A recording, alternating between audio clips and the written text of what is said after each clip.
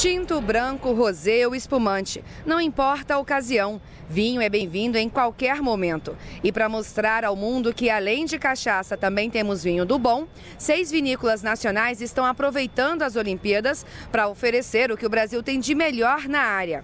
E olha que teve aprovação até de argentino. Eu acho que o Brasil tem um potencial muito grande a ser explorado, um caminho muito bem feito até agora é, principalmente com espumante, mas que não deixa desechar também na, na parte de vinhos tranquilos, como podem ser os vinhos tintos, e os brancos também que estão fazendo um excelente trabalho em determinadas regiões aqui do Brasil.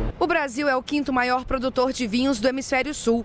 Além do mercado interno, o vinho brasileiro é exportado para mais de 30 países. No ano passado, o faturamento do setor chegou a 1 bilhão e 200 milhões de reais. Esse primeiro semestre, a gente teve um, um aumento de 26% no volume de exportações comparado ao primeiro semestre do ano passado.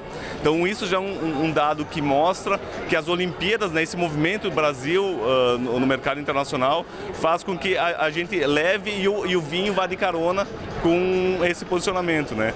Um dos destaques da produção nacional é o espumante, que no ano passado teve crescimento de 11,6% no volume de vendas. Esse aqui, por exemplo, é o espumante oficial dos Jogos Olímpicos. E claro, eu vou provar um pouquinho. Saúde? Agora tá um intenso. E é bom. A gente produz vinhos de excelência, a gente está em pleno crescimento de investimento, cada vez exportando mais.